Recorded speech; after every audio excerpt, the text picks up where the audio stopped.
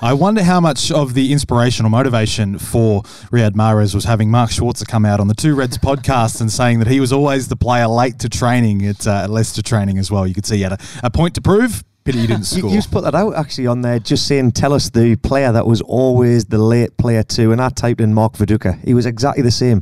Viduka lived close to the training ground. He was just a lazy, lazy man. Um, the last man in and the first one to leave. Didn't matter though, did it? No, it didn't because he took my position. Did he used to turn up in, in like jeans and stuff and jump over the fence? Yeah, that was the best ever. We had we had a, had a game on a Saturday and we had a cool down session on the Sunday morning. All the lads are changed. They're in there. We're chatting about what we did last night when we'd had a few drinks, celebrating the victory. We're coming for a cool down. O'Leary loved the boys having a chat.